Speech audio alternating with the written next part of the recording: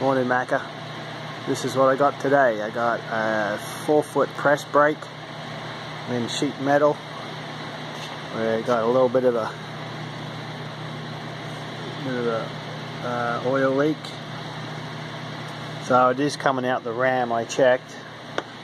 This is what we got.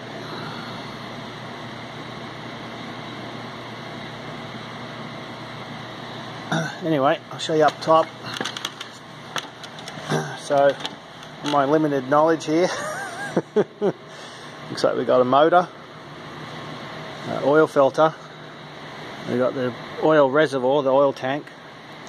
Looks like we got the pump in here. Looks like a little pressure relief valve on top. Uh, and then the controller there, I guess. Electrical side coming in. Over there. Uh, and the high pressure side coming out of the pump going into the ram.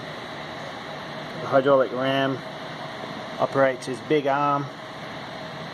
See there?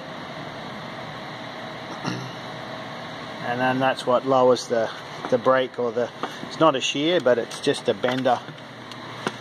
Operates that that big blade there. Anyway so we've got, uh, yeah, anyway, it's leaking out the ram seal right there on the uh, underside. I can see it's actually got a few drips, and there's a little bit of a weep on that fitting there.